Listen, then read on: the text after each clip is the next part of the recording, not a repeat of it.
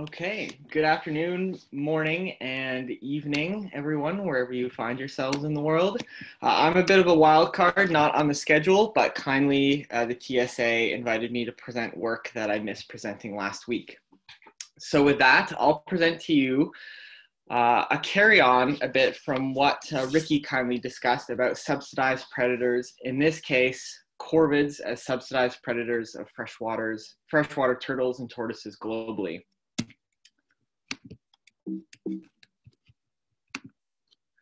Uh, subsidized predators can be animals that are native or introduced whose populations proliferate on account of human subsidies. These can include food, water, shelter, or essentially trickle downs, uh, trophic cascades from release from predation pressure.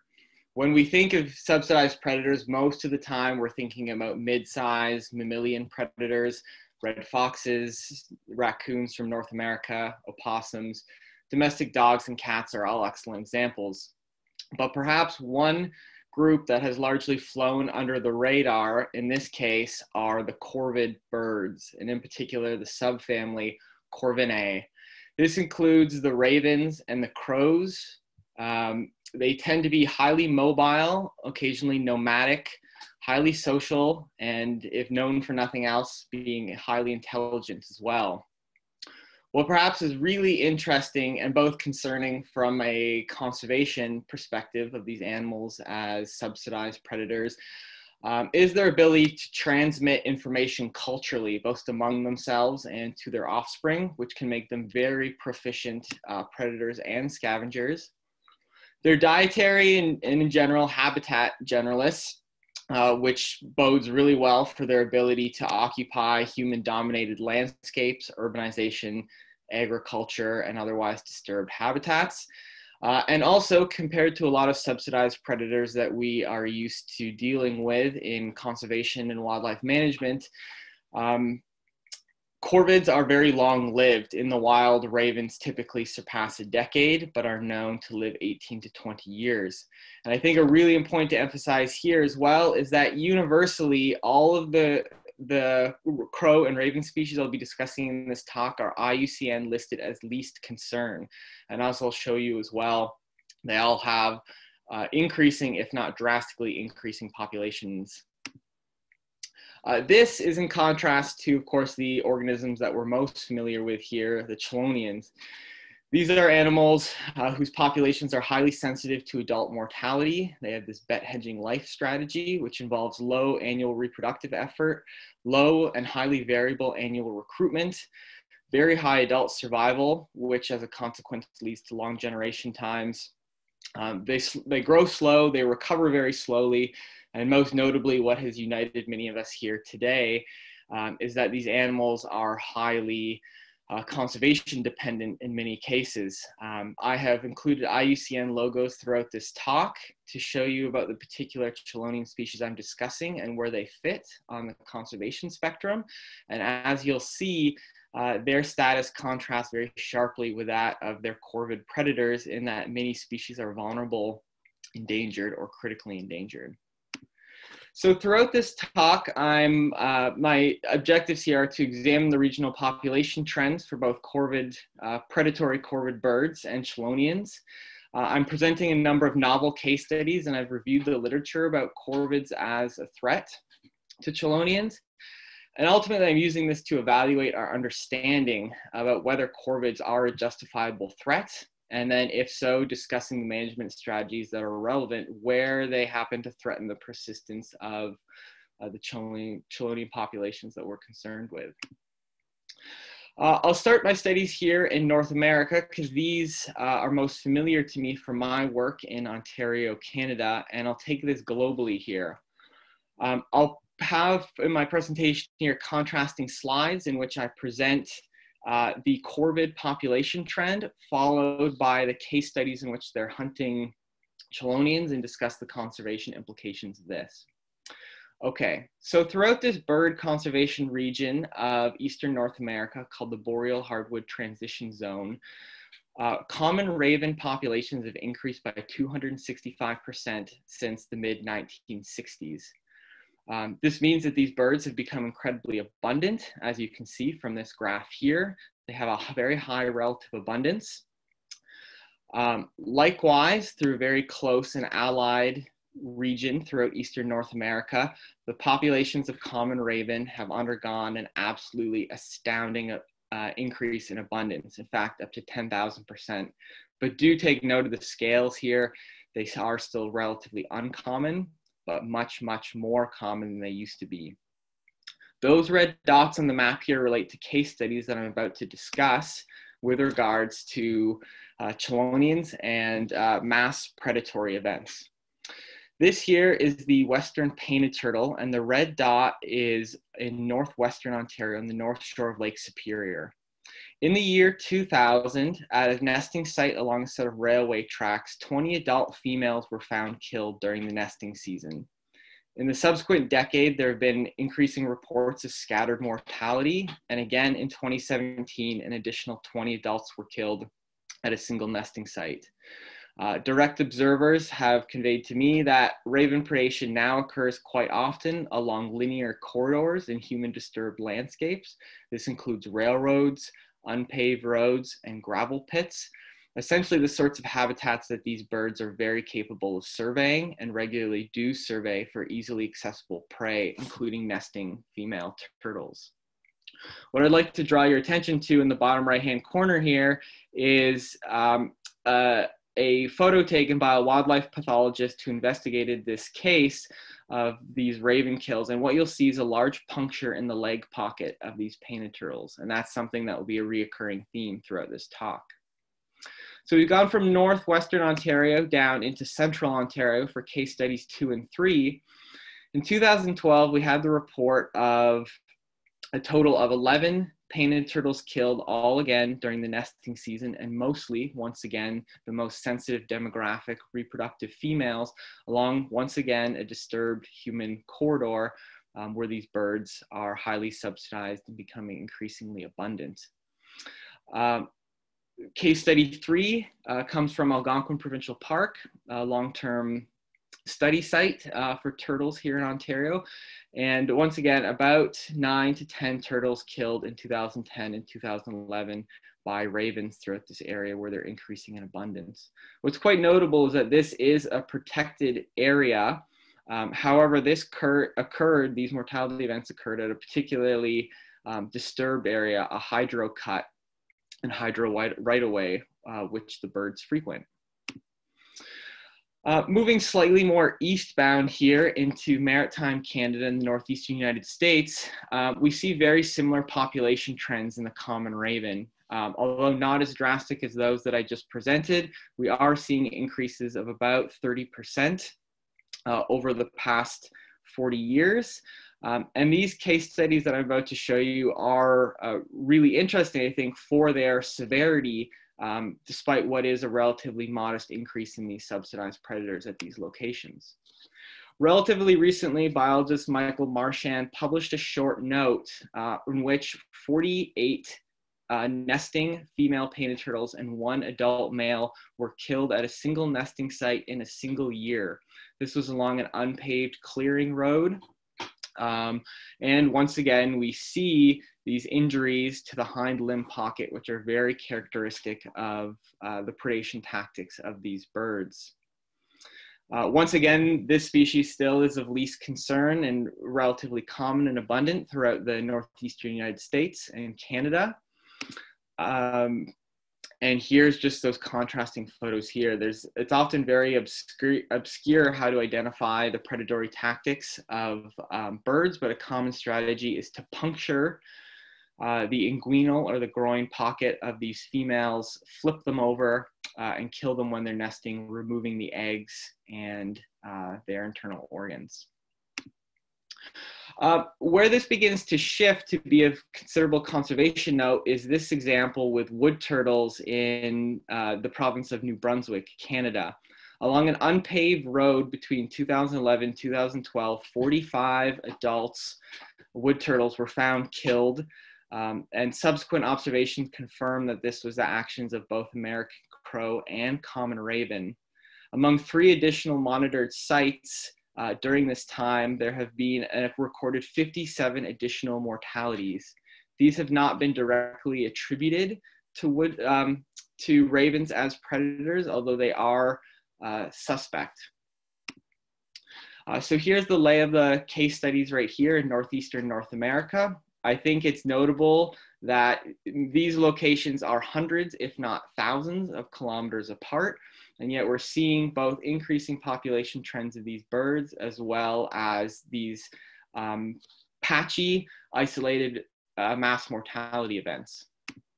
Perhaps another case study that doesn't need a great deal of introduction among those on this call is the case study of common ravens down in the southeastern or southwestern United States, particularly in uh, California, and, and, in particular as it affects the desert tortoise. Uh, mean common raven abundance has increased by over 300% since 1966. And once again, this is highly facilitated by us providing food, water, and shelter subsidy to these birds. Uh, here are some photos here, and this is where the case studies start to become much more drastic. Uh, these are photos provided by Peter Woodman from the late 1980s, and these are shells of juvenile desert tortoises recovered from underneath a single nest, a single raven nest during a single breeding season. Um, in the photo shown here, there are about 140 tortoise shells of 190 that were eventually found. The gopher tortoise is vulnerable but provisionally assessed as critically endangered, and the common raven uh, is a major threat and has been known to be a major threat for the past 40 years here's a general timeline, and I don't expect you'll be able to review all of these in detail, but starting as early as 1977, there were elevated levels of juvenile mortality noted by common ravens, and as you can see, that would quickly climb to be a major conservation concern. In many cases, there are dozens to hundreds of juvenile tortoises being found in the vicinity of perch or nest sites of common ravens. Today, about 76% of desert tortoises are below viability. That is to say that um, in terms of long-term population viability, these are effectively ghost populations that are going extinct. These ravens are a huge issue and efforts to control them have been largely unsuccessful or a bit underwhelming, at least in terms of the scale of the initiative. Um, and this continues to happen today. Um, but what's most concerning is that this issue is scaling up. Not only uh, have juvenile tortoises been targeted for the past several decades, but attacks by common ravens have graduated to be on adult female tortoises in particular. As we know about the life history of these animals, um, if these females start to experience increased levels of mortality, um, there are massive population, massive implications for continued population decline. Um, this is a scenario that should be taken extremely seriously um, on top of the mounting number of other threats that the desert tortoise is experiencing. Um, jumping from North America to the Mediterranean, um, brown neck ravens as well as carrion crows, it's a very similar story in arid desert habitats. They've been highly subsidized in nesting habitat through infrastructure. Um, so a number of species such as Testudo werneri, also known as Testudo kleinmanni, or, or not also known, but rather recently, uh, relatively recently redescribed new populations as new species, are critically endangered and yet their populations are falling quickly in parts of Israel and perhaps also Egypt. I think particularly telling is the work of, of Perry and colleagues from the mid 1990s, in which over their three year survey period, crow, carrion crow populations increased by 20 fold, whereas tortoise populations plummeted by 500 fold. Um, just as the case studies elsewhere from North America, the damages to shells and the identification of corvids as these primary subsidized predators is uh, very much obvious and apparent recently published in Scientific Reports, uh, Amalia Segura and colleagues uh, wrote of 50% of the juvenile spur-thigh tortoises they found in a protected area of Morocco um, were killed by nesting common ravens, which may be subsidized by small local communities. Suffice to say, this is, uh, these are patchy uh, observations, but when likely scaled across the landscape, they have large conservation um, applications. In South Africa, um, this is probably the case studies most, most well studied and as analogous to the desert tortoise. Um, Southern African breeding bird atlas data suggests that there are significant increases in pied crows, um, especially among treeless habitats of the desert and the scrublands. Um, this is especially true because these animals are being, these birds that is, are being provisioned with uh, nesting infrastructure where nesting is normally limited. They're able to take advantage of telephone poles, hydro towers, and so forth on which to lay their eggs. Over 50% of populations uh, monitored in South Africa of the pied crow have increased, and 25% of monitored populations have increased greater than 100% uh, within the past couple decades. Um, in the Northern Cape, um, where Victor Loehr does a lot of his work with dwarf tortoises, for instance, in 2000 to 2004, pied crows were present in less than 5% of surveys. By 2012, they're present in 50% of surveys, approximately. These are birds that are increasing in abundance very, very quickly, once again, provisioned by people. And much like we see with the desert tortoise case studies, this is ramping up incredibly quickly, and it's particularly impacting a lot of the species of dwarf tortoises, for which both juveniles and adults are highly susceptible to mortality. Um, earliest observations of pied crows uh, inducing mass mortality in tortoises starts as early as 1994. And as you can see, by the mid 2000s, we have very large scale mass mortality events that are going on, including case studies as high as 475 juvenile tortoises found from clusters of raven or crow nests.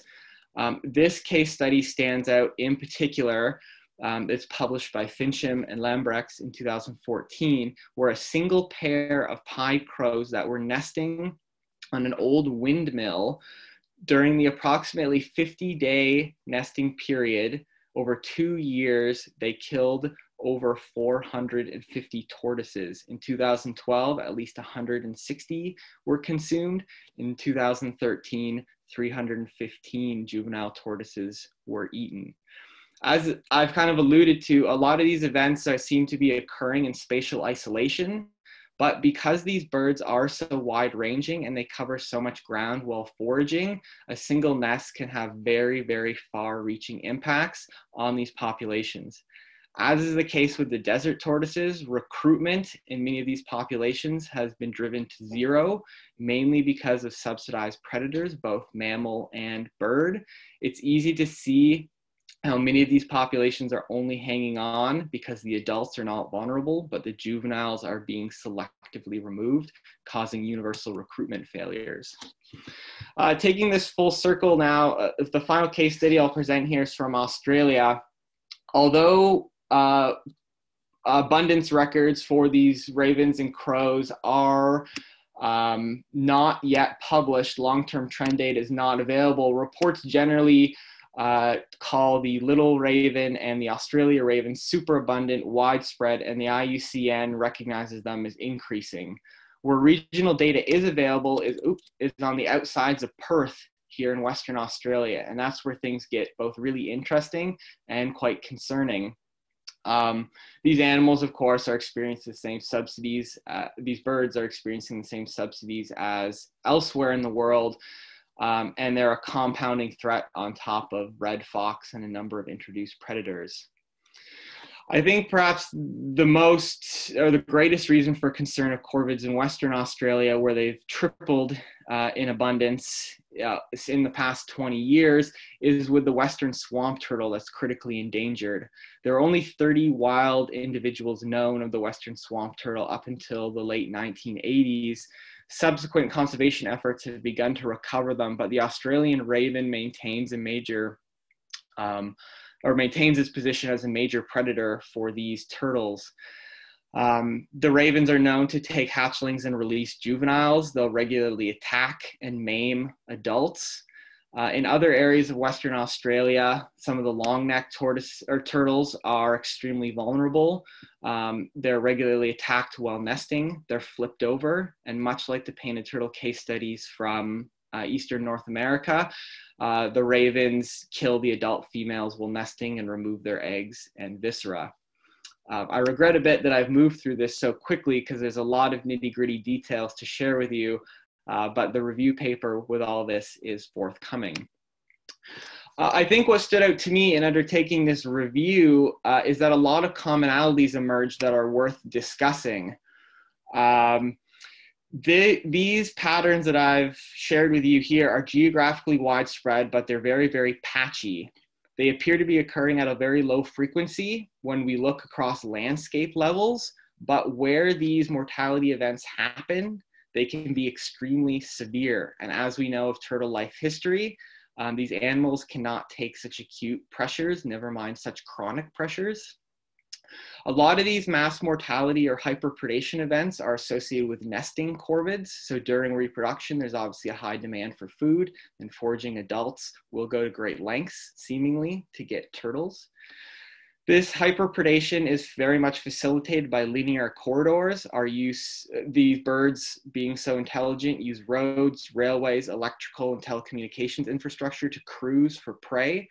And they're highly subsidized by roadkill, which brings them to roadsides, often where turtles are found nesting.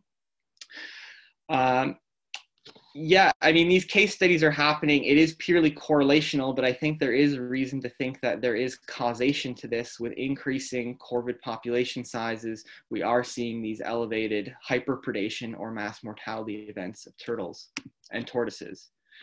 There are some uh, serious management implications that need to be discussed for this underappreciated threat. Um, we need high quality data on both predator and prey populations, but I would sincerely urge those in a position of conservation and management that delaying should not be used as justification. Um, that is, delaying in data collection should not be used as justification for taking action. The most obvious thing that um, needs to be done is to reduce access to subsidies for these birds. Subsidies increase survival and they increase reproduction. So we need better waste management systems or we need to deter birds from subsidies. That is to say, um, you know, we need to put deterrence on infrastructure that can be used to subsidize nesting and the reproduction. We need to have better waste management, such as using closed top garbage bins or having deterrence at dump sites that otherwise uh, increase these bird populations to such high levels. Um, recent work by Tim Shields and company for desert tortoises down in the American Southwest um, has shown that they can use drones and conduct egg oiling uh, to assist with reproductive interference. Things like nest destruction could probably be productive for curbing the reproduction of these birds, but it's a lot of work and it's really only a band-aid solution. Aversion training is being used uh, to help protect desert tortoise populations in the southwest United States, as well as with the geometric tortoises uh, down in South Africa. This involves things such as using uh, bird deterrence, using laser lights, uh, loud sounds to scare birds away from sites where tortoises are present, and also using decoy turtles uh, with poison or with noxious compounds that uh, induce the birds to vomit. The premise behind this is actually that a live bird is much more valuable than a dead one, and that is because these birds learn from each other and are so gregarious. If you can teach one bird to avoid turtle prey, it can quickly spread throughout the population. Of course, if you opt to kill that bird, um, you've only knocked one out of the population. The last, and I should emphasize, very last management strategy that should be implemented should be lethal control. There are a number of studies in both avian and turtle nest predation that show that lethal control is not an effective strategy. Um, it's only a band aid once again. Reducing access to subsidies, which involves changing human behavior, is the single most important management strategy. All others are just stepwise, band aid, and generally ineffective solutions, at least on the long term. So I wanted to close with this, which is an abstract from the, or an extract from the paper that's in review, and it's this. even if current evidence suggests that instances of turtle population overexploitation by corvids are relatively spatially isolated, the severity and the collective impact of these events should not be discounted. The suite of factors involved in this conservation challenge, namely the variability of the slow life histories of turtles, the additive mortality of subsidized predators, in this case corvids, but also a lot of subsidized mammals, the potential spread of specialized predatory behavior among these highly social birds, and the cumulative risk of local extinctions, especially in these species of turtles and tortoises that are already severely imperiled, amounts to a perfect storm of threat. Uh, and uh, it cer certainly shouldn't be taken as alarmist, but what we already know from these bird populations is that they are increasing incredibly rapidly and that case studies of the desert tortoises in the United States, turtles, freshwater turtles in southwestern Australia, and tortoises in South Africa show that this is a threat that's not only increasing, but it's likely increasing in geographic breadth, but probably increasing in severity as well. I'd be happy to take any questions, and as I understand, if you have rolled in here through the online chat, uh, I may not have too much time, but I will take a crack at a few of these questions. Question one I see. Um, yeah, how widespread do you think raven attack is throughout the range of the various species discussed? Uh, I think I'd emphasize that by simply saying that uh, our current evidence suggests that spatially it's very patchy, but a lot of the case studies that I assembled were not from the peer reviewed literature. These came from speaking with uh, people as diverse as farmers to local wildlife biologists to um, local landowners. So I think the really important point here being is that this is very much under evaluated as a threat. We have no idea how spatially widespread this is in most case studies. And so it requires a lot more eyes on the ground. Uh, I think that's a really important lesson to take away. Uh, what sources of food and water are humans giving to these birds? Um, well, water mostly comes in the form of things like agricultural ponds, uh, troughs for livestock uh, um, in agricultural settings, um, a heck, even fountains in things like urban areas. In terms of food, these birds are habitat uh, and dietary generalists. So everything from agricultural crops, which they're regularly known to be pests of, to fast food items that are tossed in a dumpster in urban centers, to litter that people throw on the side of the road while they are uh, driving. So really any sources of food are suitable. Many of these animals are carnivorous, uh, the birds, sorry, are carnivorous or scavengers, but they will readily take vegetative matter and seeds and so forth as well. So um, as dietary generalists, indeed, they'll feed on a lot of different things. Uh, question, another question, do, how do seagulls compare to corvids in terms of predation threat?